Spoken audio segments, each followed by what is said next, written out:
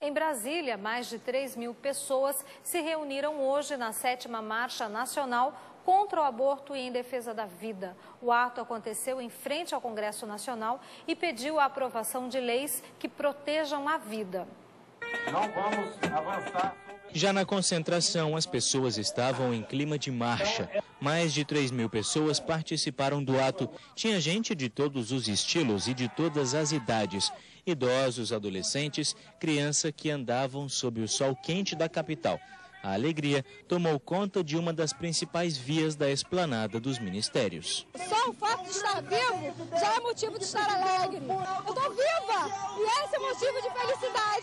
Foram quase 4 quilômetros de caminhada e lá no meio do grupo estavam os pés calejados do seu João, baiano de 69 anos. Ele andou do começo ao fim e se emocionou. Estou aqui a pé no sol quente, caminhando, lágrimas correm, porque não tanto sofrimento. Na frente Nesse momento, a chuva cai em Brasília e o final da marcha é justamente em frente ao Congresso Nacional. E mesmo com essa chuva, as pessoas se concentram em frente ao gramado do Congresso para pedir a aprovação do Estatuto do Nascituro, um projeto de lei que garante o direito das crianças ainda na barriga da mãe. A ideia é sensibilizar o Congresso para, no ano que vem, aprovar o projeto que atribui direitos e garantias fundamentais à criança ainda não nascida. E nós queremos que eles nos representem a ter essa mesma consciência de que mais de 80% do povo brasileiro é contrário ao aborto. Em clima de oração e também de festa,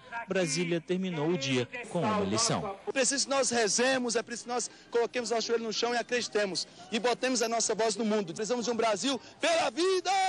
Vida sim, aborto não! Vida sim, aborto